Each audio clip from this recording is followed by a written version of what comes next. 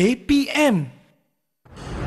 Dengarkan saja daripada Cikgu Linda Nur. Indahnya karya. Ilham, kau datang tak kira masa. Ada kala tanpa diduga. Namun mahal harganya. Karya cetusan idea membawa makna. Makna mendidik masyarakat. Didik tersurat dan tersirat. Menjauh segala musibat.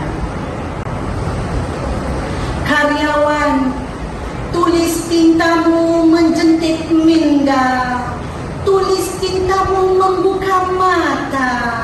Tulis tintamu menguap rasa. Sastrawan mewarnai koleksi karya tanpa lelah terus berkarya. Jasamu tetap dikenal sepanjang zaman.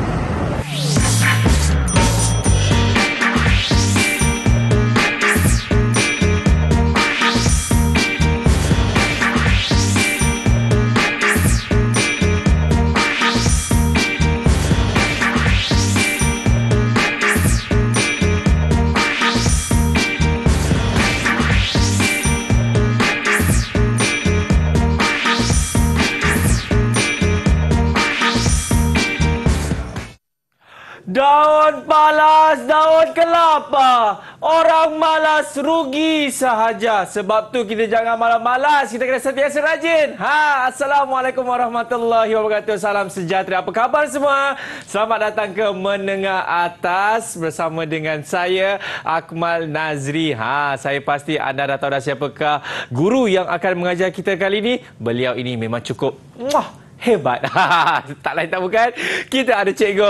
Cikgu Linda. Apa khabar Cikgu Linda? Baik, Alhamdulillah. Akmal apa khabar? Kabar baik. Ah, semangat itulah yang kita mahukan Akmal. Betul. Hmm, Tapi okay, sebelum tu cikgu, Yep. ha izinkan saya untuk memperkenalkan terlebih dahulu juru bahasa isyarat kita. Tak lain tak bukan iaitu Cikgu Saundra Devi. Apa khabar Cikgu Saundra Devi? Sehat?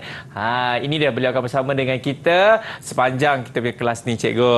Yep. Cikgu. Yep. Katanya cikgu mempunyai empat orang anak murid Ya, yang benar. akan bersama dengan kita. Cikgu Linda, siapakah mereka, Cikgu Linda? Mari saya perkenalkan. Silakan.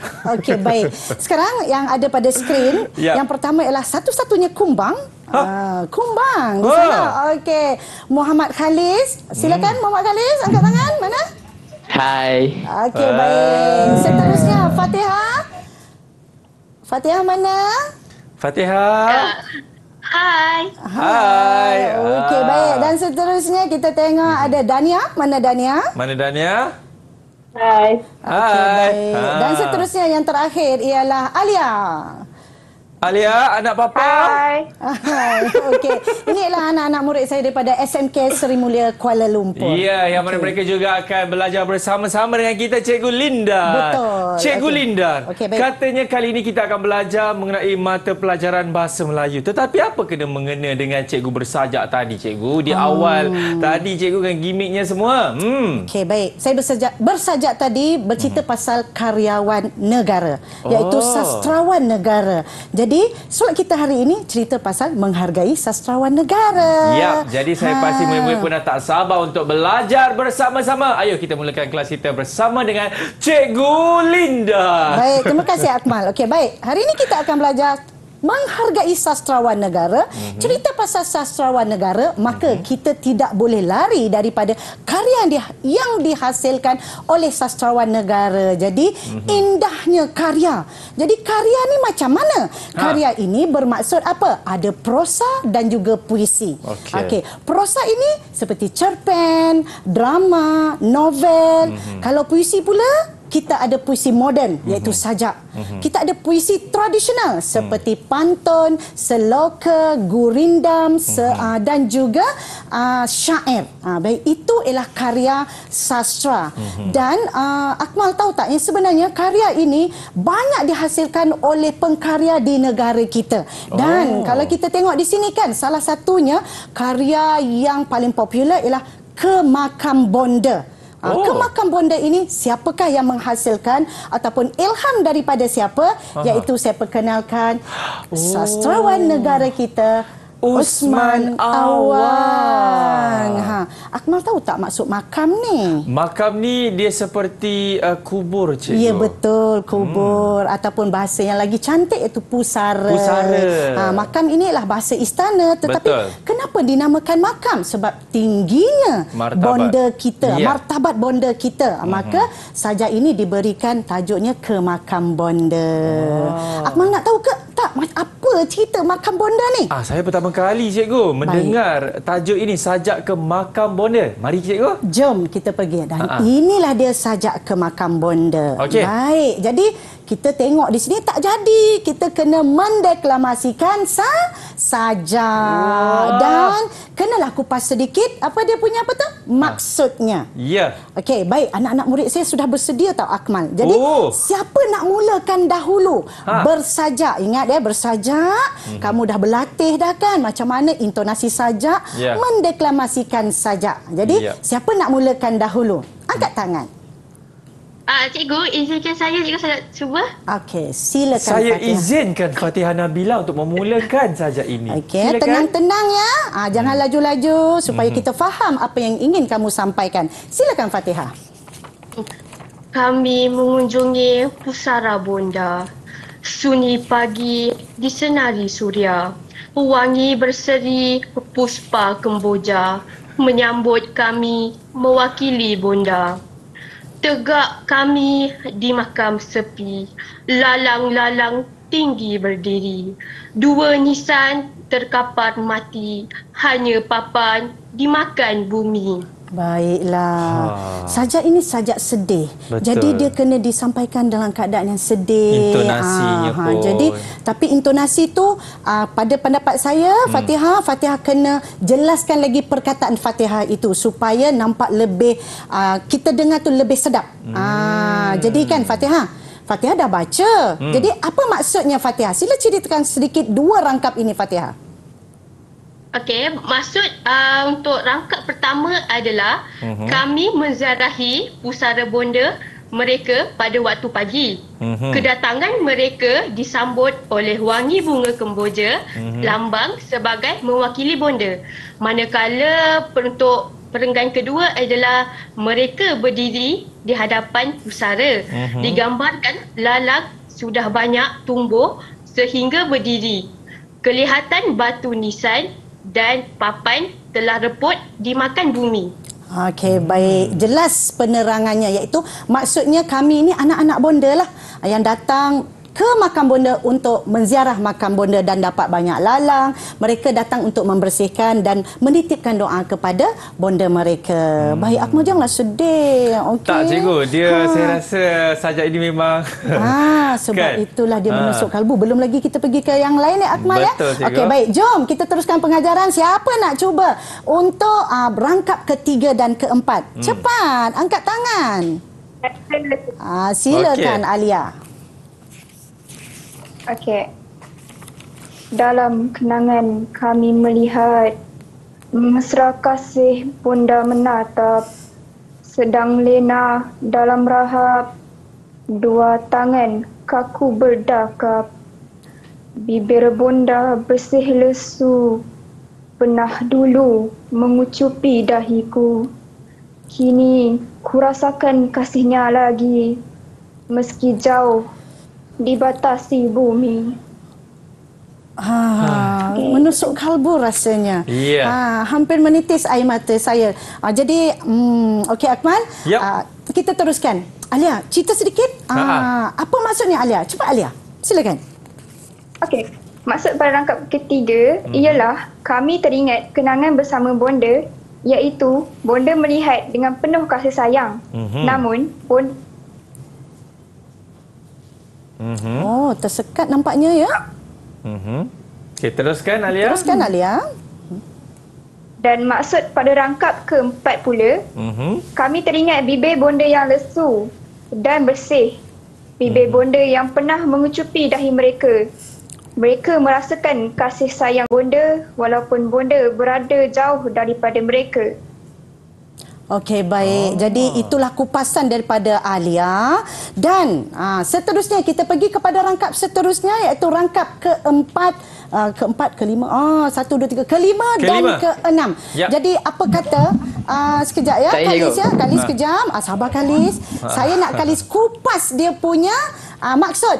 Saya nak boleh tak Akmal dengan cepat dan jelas ber uh, bersajak silakan Akmal. Boleh, cikgu. Saya ambil yang Akmal ambil yang rangkap kelima, saya ambil rangkap keenam. Silakan Akmal.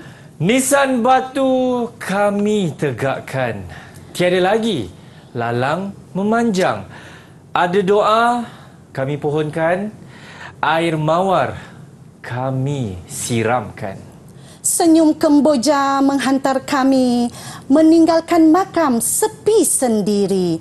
Damailah bonda dalam pengabadian. Insan kerdil menghadap Tuhan. Baik, silakan Kalis. Kupas sedikit maksud sajak itu. Okey, maksud dari uh, rangkap keenam dari sajak itu ialah batu nisan ditegakkan dan lalang ditebas. Mereka berdoa untuk bonda dan menyiram air mawar di atas pusara bonda. Mhm. Dan uh, rangkap yang keenam ialah mereka pulang dan meninggalkan pusara bonda. Mereka berdoa supaya bonda damai di alam abadi iaitu bonda insan kerdil yang menghadap Tuhan. Mhm. Sekian. Okey, baik. Sekian. Wah, dia- dia ada sekian tu. Ah, Sekian, terima Ah. kasih. Ya. Okey, baik. Ah, rangkap terakhir. Kita bukalah kepada siapa? Nak Ha. cuba rangkap terakhir? Satu rangkap terakhir. Ah, silakan Dania. Siapa tu? Oh, Dania. Oh, Dania. Silakan, Dania. Silakan Dania. Okey. Dania. Pada sama bonda melahirkan. Kasih bonda tiada sempadan. Kemuncak muni kemuliaan insan. Huh, Okey. itu dia penuh penghayatan cikgu bacaannya. Okey, baik. Ah, Apa ah. maksud dia Alia? Cepat Alia, silakan cepat. Ah. Maksud kepada uh, rangkap terakhir ialah anak berbakti kepada ibunya. Mhm. Namun tidak sama dengan bakti bonda yang melahirkan mereka. Kasih sayang bonda tiada sempadan dan kasih bonda menjadi ta- menjadi lambang kepada kemuliaan seorang insan. Okay. Ah. Kemuliaan seorang insan, seorang ibu, ya. Ya. Ah, jadi bermaksud di sini kita haruslah menghargai jasa ibu kita. Jadi, apabila kita dah baca pelbagai rentak, pelbagai cara yang sebenarnya sajak ini tak kisah disampaikan dengan apa saja nada, janji nadanya sedih sebab ini cerita pasal ke makam bonda dan Betul. Sebelum kita cerita semua ni yang sebenarnya mesti ada nilainya Akmal. Betul. Jadi anak-anak murid saya di SMK Seri Mulia, apa nilai yang terdapat dalam sajak ke makam bonda ini? Ya. Silakan, siapa yang nak cuba? Uh, cikgu izinkan saya Silakan. Uh, nilai yang terdapat dalam sajak ialah nilai kasih sayang. Contohnya, bonda atau ibu sangat menyayangi anak-anaknya. Bonda selalu mengucup dahi anaknya. Selain itu, dalam sajak ini digambarkan kasih sayang bonda tiada sempadan. Itu je saja cikgu. Okey, bagus. Maksudnya, bonda ini sangat menyayangi anak dia, mengucup dahi anaknya. Bila saya dengar Fatihah sebut tadi, saya teringat balik bagaimana ibu saya mengucup dahi saya.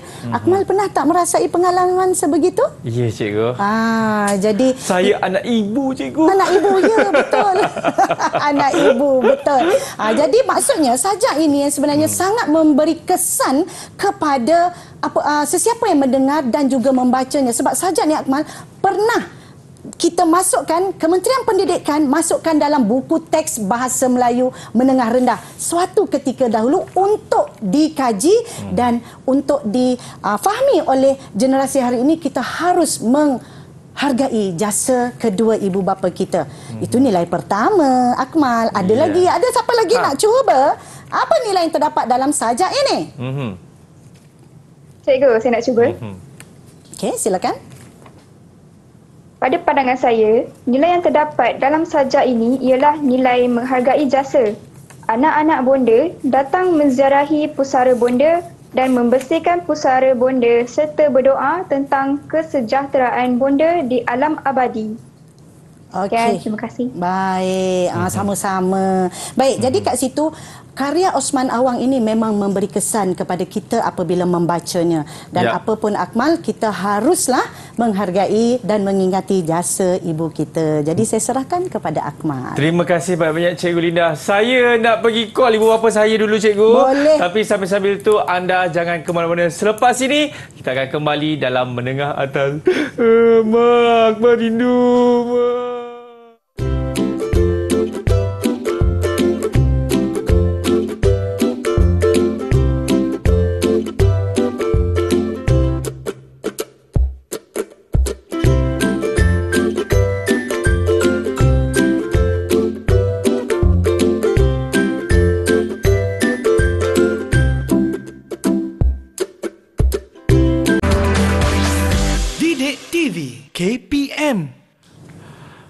Baik, masih lagi menyaksikan Menengah Atas bersama dengan saya Bakal Sastrawan Negara iaitu Akmal Nazri. Wah! Okey, saya pasti memurid dah tak sabar untuk kita sambung balik kelas kita. Cikgu Linda, Ya. dipersilakan. Ya, bakal sastrawan negara. Amin. Saya suka semangat itu. Ya. Okey, baik. Jadi kalau nak jadi bakal sastrawan negara, Aha. kita kena tahu, tak kenal maka tak cinta. Ya. Antara sastrawan negara kita ialah inilah dia. Oh. Iaitu yang pertama kita tengok Shahnon Ahmad, Mhm. yang kedua Zurina Hassan, yang ketiga Osman Awang, yang keempat A Samad Said. Ya. Nanti kita akan tahu, kita akan belajar Mhm. sumbangan mereka, biodata mereka iaitu antara barisan sastrawan negara.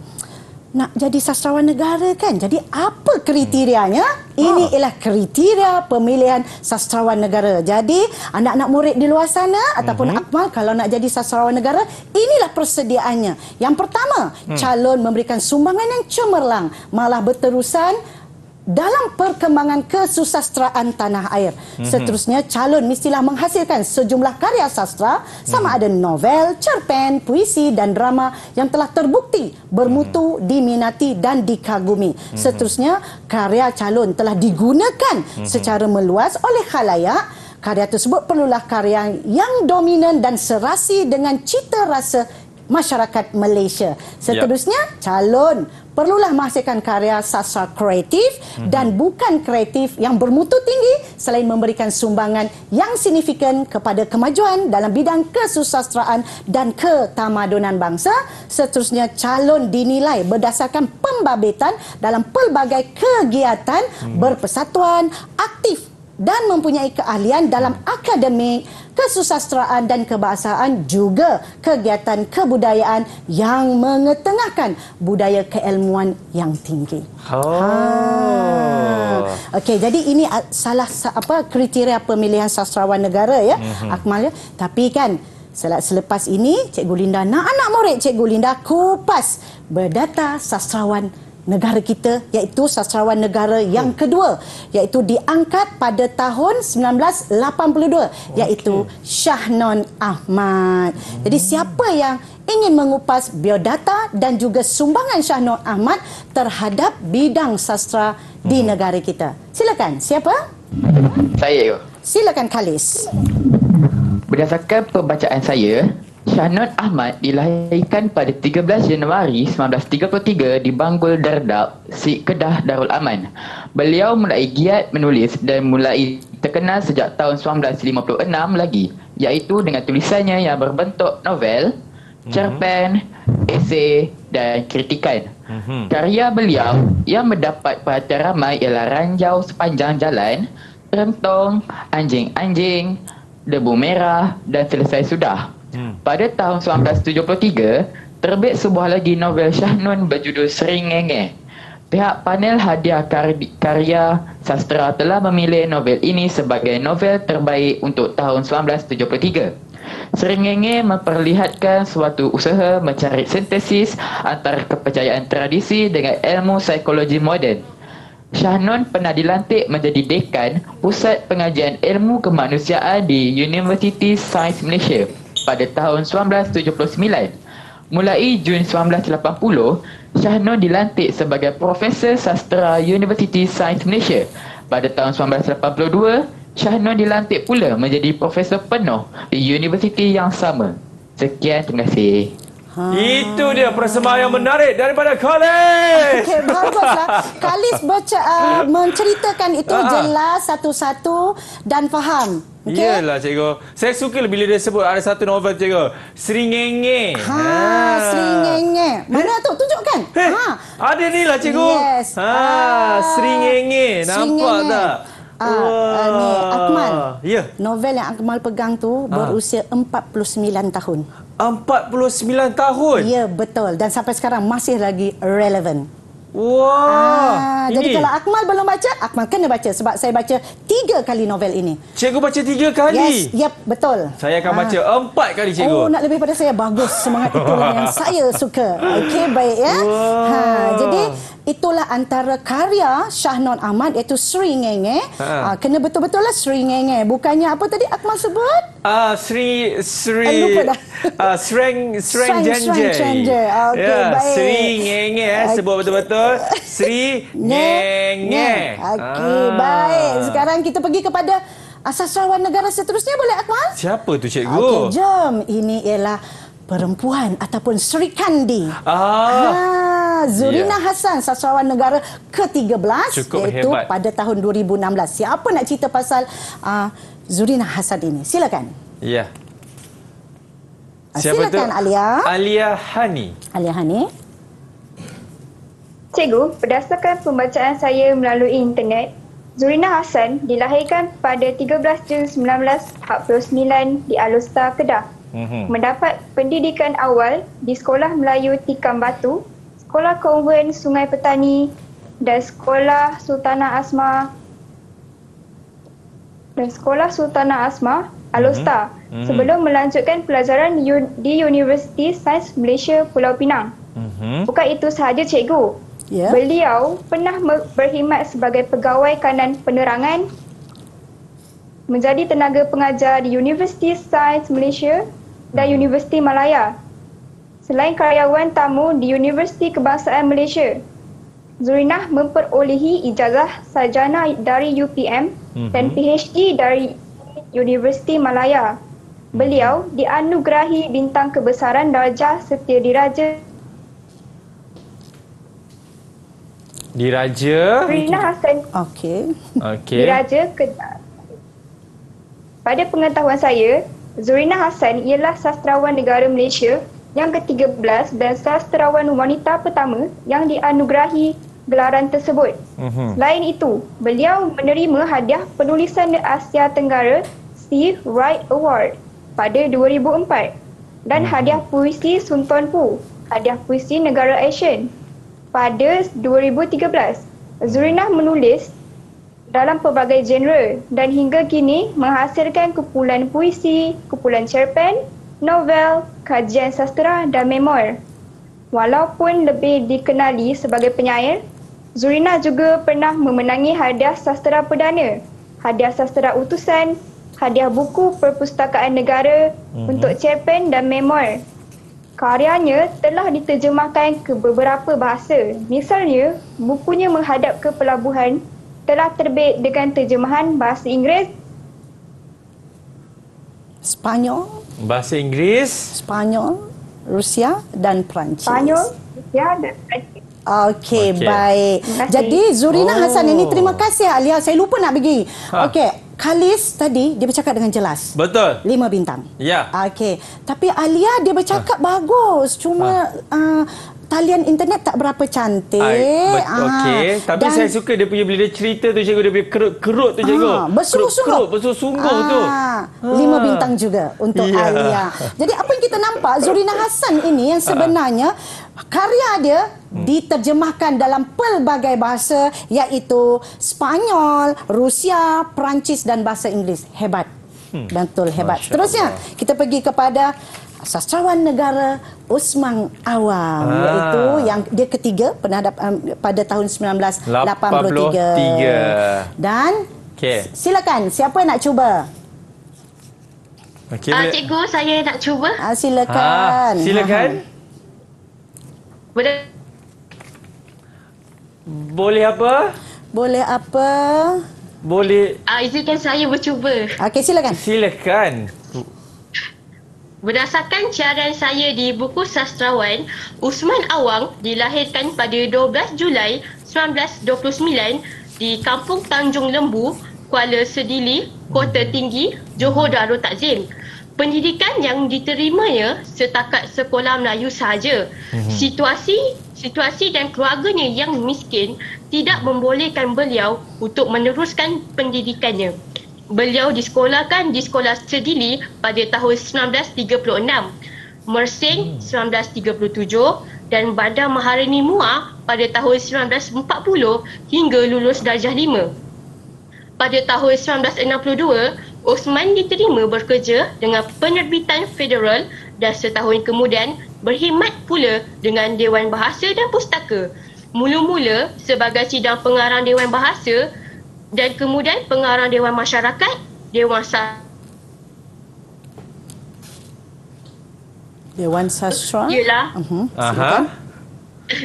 Jawatan beliau di Dewan Bahasa dan Pustaka ialah sebagai pengawal penyelidik kanan bahag maaf sebagai pengawal penyelidik kanan bahagian pembinaan dan pengembangan sastra.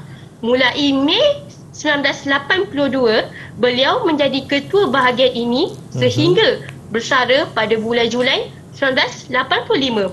Usman Awang mula membentuk namanya dalam dunia kesusastrawan Melayu moden dengan menulis puisi. Antara puisinya yang cukup popular termasuklah Bunga Pompi, Ga- Gadis di Kuburan, Pak Ute, Kemakan Bonda, Nasi Buruh dan Salam Benua. Itu saja cikgu. Baiklah. Huh. Macam pembaca berita lah. Ah, Ha. saya nak berkata sedemikian cikgu. Sama kan? Setuju kan? Ya. Kalau tadi lima bintang ni saya bagi enam bintang lah macam tu. Ekstra satu Eks- bintang. Ah, kita lebih satu bintang. Bila apabila Fatihah membaca tu seperti pembaca berita saya pun leka dengan Fatihah Dia baca. dia Ah. menceritakan seperti ni cikgu, storytelling Ah, kita ya, panggil. ya Ah. betul. Baik, baik, baik. Okey, seterusnya kita bagi kepada Eh Samad Said. Oh, ini dia tokoh Tokoh yang memang kita tengok janggut misai dia membanyak ke, keintelektual laginya. Iya, silakan. betul tu. Siapa? Damia lah kan. Dania, silakan Dania. Saya, Ha, silakan. cikgu, berdasarkan bacaan saya melalui internet, Mhm. mm-hmm. Selamat Syed dan Senang kampung di dalam Juruan Tuan Melaka. Bulan, Mat Selamat Syed dibawa oleh para penyusus Korea dan dia menimpan di dan menengah di Selamat Syed belajar di Sekolah Melayu 4 1940 19 sebelum pengajarnya dalam kelas di Victoria. Dari situ, beliau belajar sendiri oleh di Senior Cambridge 1956. Okey, baik. Uh, Dania, Dania. Okey, saya sambung sedikit ya sebab uh, kamu punya internet tidak berapa stabil. Saya sambung sedikit, saya cerita sikit dengan Akmal. Sebenarnya, eh sama saya ni Akmal, sila pegang buku yang ada di depan Akmal.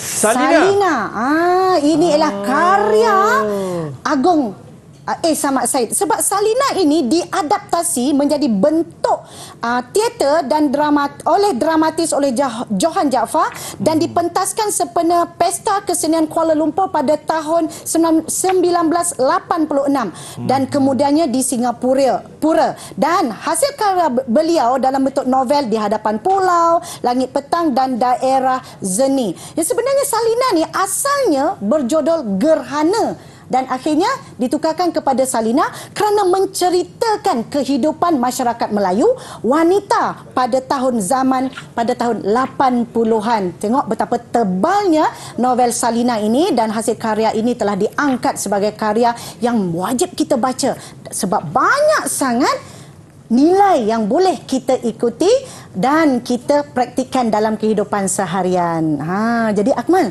boleh baca Saya? tak nanti ni? Saya akan baca balik. Saya pernah baca cikgu Ya? sewaktu zaman sekolah menengah tapi saya tak habis cikgu ketika tak itu. habis, tak apa. Usaha Ah, ah. tangga kejayaan. Betul tu. baca lagi. Sebab tu sekarang kita nak berhenti rehat cikgu. Ya, kita berhenti Saya rehat. nak baca dulu buku ni. Boleh cikgu? Boleh, silakan. Kepada anda semua jangan ke mana-mana. Selepas ini kita akan kembali dalam menengah atas. Oh, duduklah. Apa yang hendak dimalukan?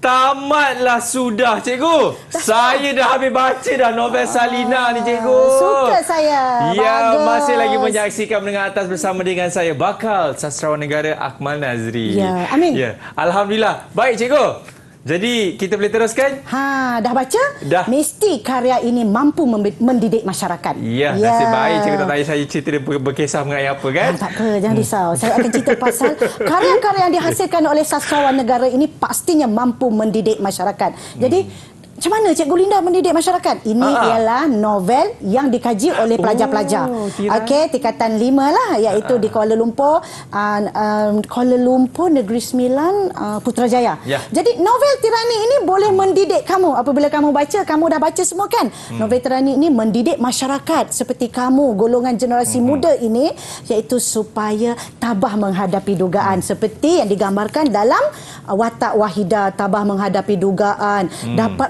membina kerjaya, membina perniagaan, akhirnya perniagaannya berjaya. Ha, itulah dia bagaimana karya mendidik masyarakat. Tapi ini sebagai contoh saja Akmal. Hmm. Sebenarnya siapa yang kita nak kupas? Pastinya lah sastrawan negara. Kita pergi kepada Usman Awang, sastrawan negara kita yang ketiga, Hmm. iaitu apakah yang dihasilkannya? Ha, sangat dekat dengan kita, dekat dengan saya, cerita pasal saya lah. Oh, guru. Guru, oh guru. Osman Awang yang telah diterbitkan pada tahun 1979. Ha. Ah, jadi kita bersajak boleh. Boleh, cikgu. Ah, tapi sajak ini dimulakan dengan pantun tahu Akmal. Oh, Pa- Akmal boleh berpantun? boleh, cikgu. Ah, silakan, mari. Baik, berburu ke uh, berburu ke padang datar. Dapat rusa belang kaki. Ha, berguru ke palang ajar. Ibarat bunga kembang tak jadi. Ha, dedikasi kepada Hari Guru dan guruku tercinta. Cikgu Linda, Yap. selamat Hari Guru. Ya, selamat Hari Guru. ah, baik. Jadi murid-murid saya mereka sudah mendalami Hmm. cerita pasal sajak ini dan saya nak anak-anak murid saya di SMK Seri Mulia. Hmm. Apalagi deklamasi sajak lah. Oh. Okey, siapa nak mulakan? Yang ini nada dia mesti bersemangat. Betul. Sebab cerita pasal cikgu yang bersemangat. Cintakan kepada guru. Ya, tapi Ah. Akmal, guru ni tak semestinya saya di sekolah. Bra- ah, Ibu betul. bapa kita pun guru juga. Betul. Ah, kawan-kawan kita pun guru juga. Ah, sahabat kita pun guru juga. Yap. Ah, jadi kita jangan sempitkan pemikiran kita. Mhm. Jadi siapa nak sahut cabaran Cikgu Linda membaca ah, sajak guru oh guru. Yap. Silakan boleh angkat tangan. Hmm, siapa?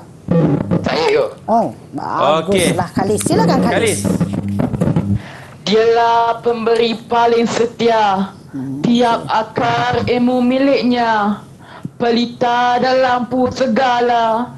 Untuk manusia sebelum jadi dewasa Sekian, terima kasih Wah, kenapa sekian? Terima kasih. Kenapa tiba-tiba macam tu? Dia semangat. Lepas Oh, tu bila dah habis, sekian, terima kasih. Ah, tapi sekian ni macam eh, ah, mungkin dia nak minum air Kita dulu. nak ada uh, apa ni turun sikit. Turun. Okey, Okey, baik. baik. Sekarang Ah. siapa nak cuba? Kena semangat eh, semangat. Ah, semangat macam Kalis tadi. Saya suka semangat Kalis. Ah, silakan siapa?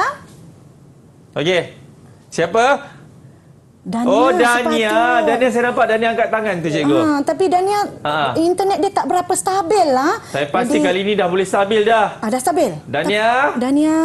Dania. Ah, ah, okey. Tak Dania. apalah, kita minta tolong kawan-kawan lain. Ah, yang tu dah okey. Dania boleh baca Ah, tak boleh seterusnya? Ah, silakan Dania. Boleh? Ah, okey. silakan. Boleh. Ibu, dialah ibu, dialah bapa, juga sahabat. Hmm. Alur kesetiaan mengalihkan nasihat. Pemimpin yang ditolakkan segala umat. Seribu tahun katanya menjadi hikmat. Okey, bagus. Wah. Ha, Alhamdulillah akhirnya dapat juga Dania Baik. mengeluarkan, me, me, melontarkan Hmm. hmm. deklamasi sajaknya. Baik, seterusnya. Ah, yang ini kena bersemangat sungguh-sungguh ni. Oh. Ha, yang panjang jika hari ini, jika hari ini. Mhm. Jadi siapa agaknya nak menyahut cabaran untuk rangkap yang panjang ini? Silakan. Uh, saya cikgu. Ha, silakan Fatia. Jika hari ini seorang Perdana Menteri berkuasa. Huh. Jika hari ini seorang raja menaiki tahta. Huh. Jika hari ini seorang presiden sebuah negara. Hmm. Jika hari ini seorang ulama yang mulia. Hmm. Jika hari ini seorang peguam menang bicara. Jika hari ini seorang penulis terkemuka. Jika hari ini siapa sahaja menjadi dewasa. Sejarahnya dimulakan oleh seorang guru biasa dengan lembut sabarnya mengajar tulis baca. Ah, Itu saja. baguslah kan. Masa baca tu tak senyum langsung. Jika hari ini Hmm. bila habis terus senyum. Betul. Ah, Dia ambil feel perasaan. Ha, Dia masuk dalam sajak itu. Baguslah. Ketiga-tiga ini Akmal saya tambah lagi satu. Ah. Tujuh bintang. Wah. Ha, bagi tahniah. tepukan. Jadi siapa yang akan baca seterusnya tu? Siapa yang akan baca? Ha. Okey. Yang ter Okey, cikgu. Okey, baik Alia, Silakan. silakan Alia. Okey. Di mana-mana dia berdiri di muka muridnya. Di sebuah sekolah mewah di ibu kota. Mhm. Di bangunan tua sekolah Hulu Terengganu. Dia adalah guru mewakili seribu buku. Semakin terpencil duduknya di ceruk desa, semakin bererti tugasnya kepada negara. Jadilah apapun pada akhir kehidupanmu, guruku. Budi yang diapungkan di dulang ilmu, panggilan keramat cikgu, kekal terpahat, menjadi kenangan ke akhir hayat. Wah, dia habiskan semua cikgu. Ya, habis dia sapu semua. Ah, ah, tak bagi cat. Mana boleh. Kalau tak habis nanti, nanti Akmal pula baca. Dia tak bawa Akmal baca tu. Ha, dia sapu semua. Tahniah kepada Alia. Bagus tau Alia. Oh, sebab uh, ber, berusaha untuk mendeklamasikan sajak Mhm. dan sampai maksudnya. Ingat ya, menjadi kenangan ke akhir hayat. Cikgu. Hmm. Cikgu kan, kalau saya andai kata satu hari nanti saya meninggal dunia, Akmal akan kata, eh Cikgu Linda. Mesti ada perkataan cikgu, Cikgu. itu juga. Sampai akhir hayat. Jadi kan, ki- kita bercakap ni kita suruh mereka berbincang boleh tak? Boleh, Akmal? cikgu. Okey, jadi sekarang saya nak anak-anak murid saya berbincang tentang maksud saja. Mhm. Jadi silakan uh, saya buka perbincangan dan kamu berbincang sesama sendiri. Sambil itu saya akan menilai perbincangan kamu. Okey, Okey. silakan. Siapa nak mulakan dahulu? Silakan. Izinkan saya ya cikgu. Okey, silakan. Saya terangkan masuk sajak ini ya. Sajak ini dimulakan dengan pantun. Pantun ini bermaksud jika kita hendak menuntut ilmu, mestilah bersungguh-sungguh. Janganlah kita menuntut ilmu tidak bersungguh-sungguh. Hal ini diibaratkan bagai bunga kembang tak jadi. Izinkan saya menambah masa saja ini ya Kalis. Guru mendidik kita sebelum kita menjadi dewasa. Guru mendidik seseorang menjadi Perdana Menteri, Presiden, ulama. Dan sesiapa sahaja. Oh. Semua ini bermula dengan ajaran guru Mhm. iaitu mengajar anak muridnya menulis dan membaca. Ya, betul tu Fatihah. Sajak ini juga ingin menyampaikan mesej kepada kita bahawa di mana-mana pun guru itu bertugas seperti di pedalaman ataupun di ibu kota. Guru tersebut akan menjalankan amanahnya. Lagi jauh di pedalaman guru itu bertugas, lagi bermakna tugas tugasnya terhadap negara. Selain itu kan Kalis, guru banyak mencurahkan ilmu kepada muridnya. Perkataan keramat iaitu cikgu tetap terpahat dalam ingatan sehingga akhir hayat. Kerana guru banyak berbakti kepada anak muridnya. Itu sahaja Kalis. Terima kasih. Saya buka kepada rakan lain untuk memberikan pandangan atau pendapat mereka. Pada pendapat saya pula, melalui sajak ini jelas menunjukkan kita hendaklah men- menghargai jasa guru kita. Dan Mhm. cara men- Okey, baik. Hormati mereka ialah sentiasa menumbuhkan perhatian ketika guru mengajar di dalam kelas. Selain itu, menolong guru mengangkat buku ke bilik guru. Mhm. Ya, saya setuju dengan pendapat Dania. Selain itu juga, kita sebagai murid hendaklah memberikan salam kepada guru kita sama ada ketika kita berselisih dengannya atau ketika guru masuk ke dalam kelas. Ingatlah, guru mencurahkan ilmu kepada kita agar kita menjadi insan yang berguna suatu hari nanti. Okey, baik. Itu ah, perbincangan mereka. Kita biarkan mereka berbincang sesama sendiri secara bertata susila. Iaitu ada ah, mencela dan tambah sedikit. Masing-masing cuba untuk memberikan pendapat masing-masing. Jadi inilah yang sepatutnya berlaku dalam kehidupan seharian. Apabila kamu bercakap mestilah bertata susila. Menggunakan bahasa yang betul. Jangan men- mencampurkan bahasa Melayu dan bahasa Inggeris dan juga bahasa pasar. Jadi bagus anak-anak murid. Semuanya dapat 5 bintang. Jadi Alhamdulillah. ha, kita kongsi sedikit iaitu Shahnon Ahmad Okey. iaitu karya Shahnon Ahmad ini Akmal sila pegang Sri Ngenge. Oh, ni. Sri Ngenge ini yang sebenarnya Akmal sudah berumur 49 tahun iaitu dah cetakan ke-6 yang Akmal pegang itu cetakan ke-6 pada tahun 2016.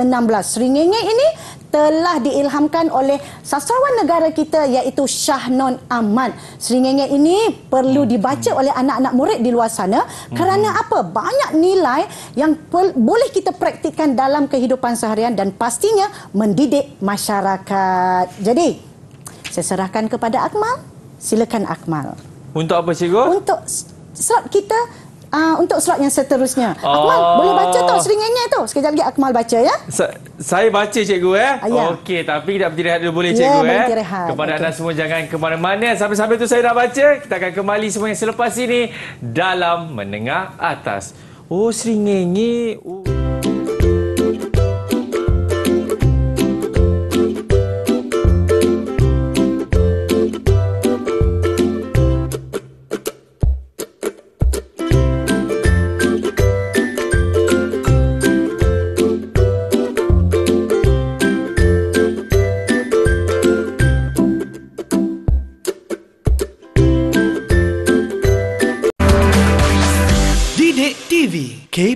KPM Bab 21. Ha, malangnya kita pun dah kembali dalam menengah atas bersama dengan saya Akmal Nazri. Cikgu, nanti saya sambung lagi satu bab ni cikgu. Boleh, Bab tak yang terakhir. Bagus. Baik, sekarang ni cikgu nak kongsikan apa pula dengan murid-murid ni cikgu? Okey, baik. Hari ini kita akan kali ni jomlah kita soal jawab. Ah, boleh? Ah, pastinya saya saya soal anak murid. Yap. Ah, anak murid mestilah jawab. Hmm. Okey, baik. Jadi iaitu soalan kemahiran berfikir aras tinggi lah.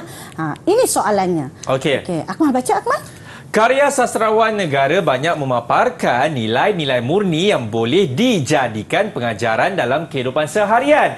Pada pendapat anda, huraikan cara-cara untuk mempopularkan kembali karya sastrawan negara ini. Ha, macam mana kita nak popularkan? Ya. Macam mana kita nak bagi generasi hari ini tahu tentang karya sastrawan negara ini?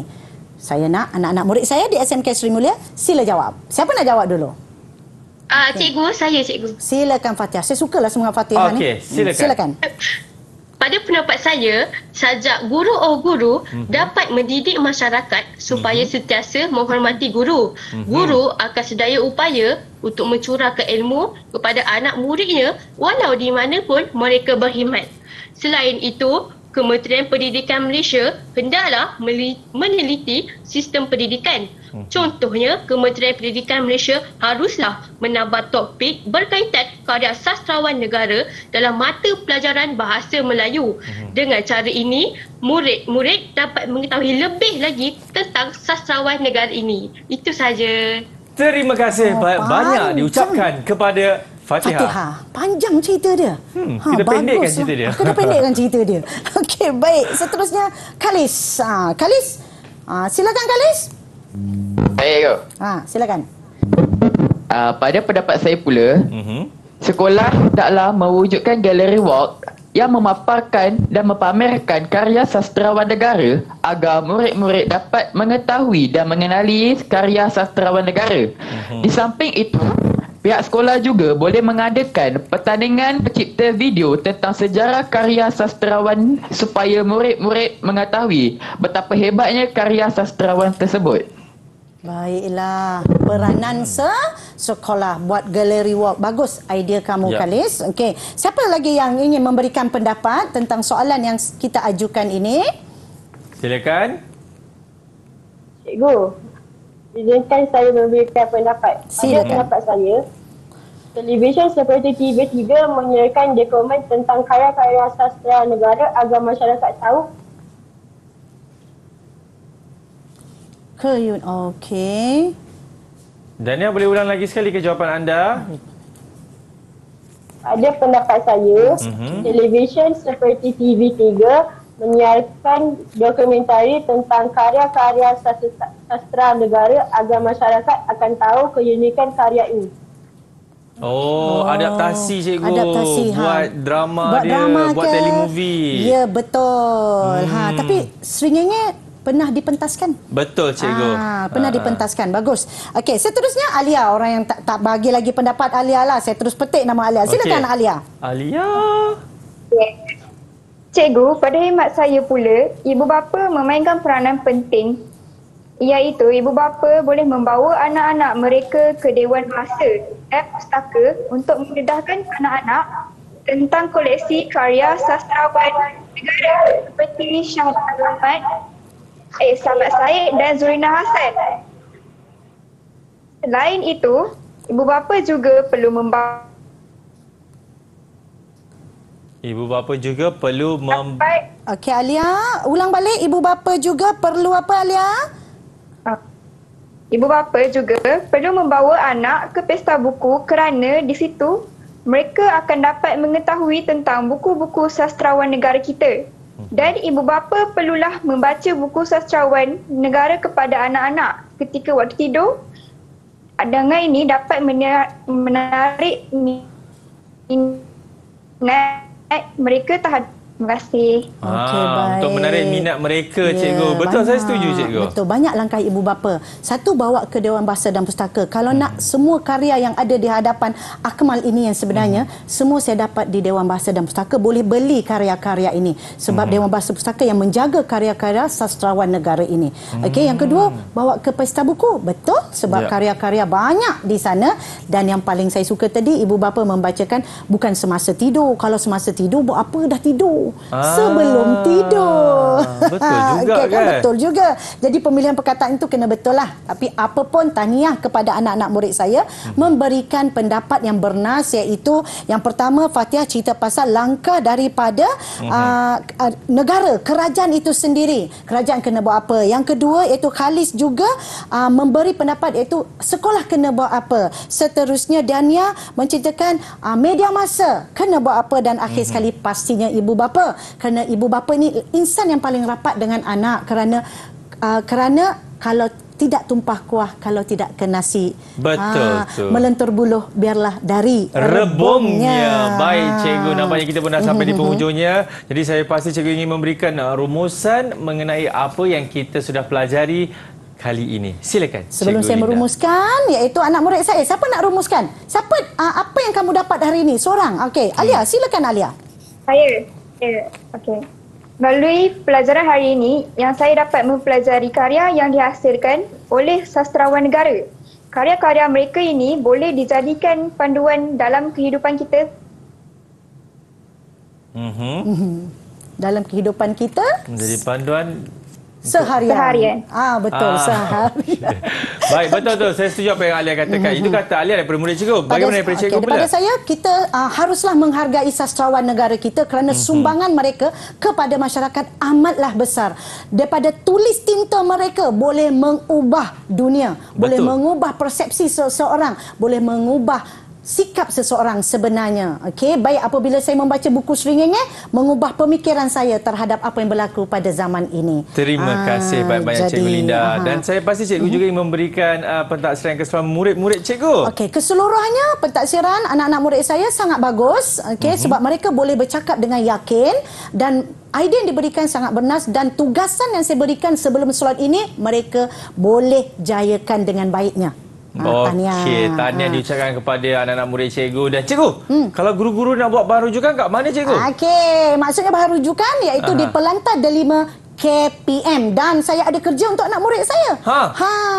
Sila hasilkan satu risalah tentang salah seorang sastrawan negara Mhm. dan karya yang dihasilkan oleh beliau. Maklumat hendaklah dicari melalui Pelantar Delima KPM atau melayari internet. Baik, terima kasih banyak diucapkan kepada Cikgu Linda dan tak lupa juga kepada jurubahasa isyarat kita, Cikgu Saundra Devi dan yang paling penting sekali Cikgu murid-murid kita yang memberikan tumpuan yang sepenuhnya. Terima kasih banyak-banyak diucapkan kepada murid-murid daripada SMK Seri Mulia Kuala Lumpur. Baik, kita tutup kelas kita hari ini. Katanya cikgu nak menyanyi ya? Menyanyi, kita tengok macam mana saya dengan anak murid saya. Ya. Anak murid saya menyanyi sebenarnya. Kita akan Silakan. nyanyi sama-sama cikgu Ya, eh. betul. Baik, kita akan jumpa lagi saya Akmal Nazri. Assalamualaikum. Bye bye. Silakan cikgu.